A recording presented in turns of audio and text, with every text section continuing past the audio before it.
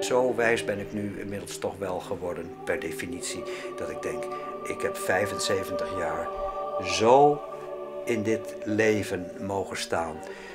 Wauw, eh, dat is een cadeau. Zeker.